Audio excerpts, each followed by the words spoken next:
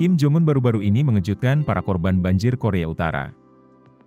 Menurut sejumlah warga Korea Utara kepada Radio Free Asia, pada saat menemui para korban banjir, Kim menyapa mereka dalam sebuah pidato yang berisi kata-kata dan frasa yang umum digunakan oleh warga Korea Selatan. Istilah-istilah yang digunakan Kim akan membuat warga biasa dalam masalah jika mereka mengucapkannya. Melansir RFA, pihak berwenang Korea Utara secara teratur menghukum pengguna bahasa gaul Korea Selatan.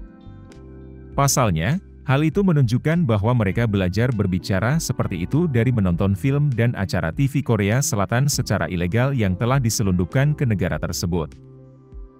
Dalam kasus yang paling serius, warga dapat dikirim untuk bekerja di tambang batu bara atau kem penjara hanya karena mengirim pesan teks menggunakan bahasa gaul Korea Selatan.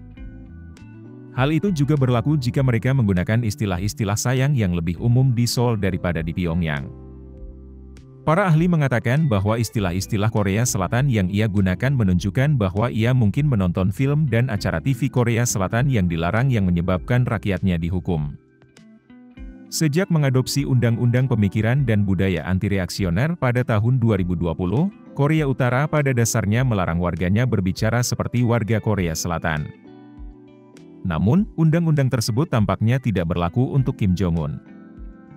Awal bulan ini, saat berbicara dengan para korban banjir Sungai Yalu baru-baru ini, ia menyebut mereka sebagai sesama, warga negara, dan bukan kawan-kawan, seperti yang didiktekan oleh istilah komunis.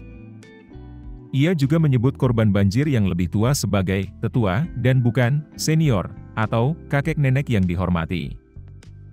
Kim juga menyingkat televisi menjadi TV yang lebih terdengar seperti bahasa Amerika seperti yang umum di selatan dan bukan terbi yang lebih umum di utara.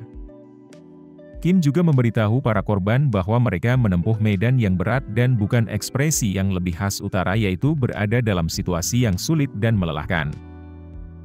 Orang-orang lebih terkejut dengan cara Kim Jong-un menggunakan kata-kata Korea Selatan dalam pidatonya daripada isi pidato itu sendiri, kata penduduk tersebut.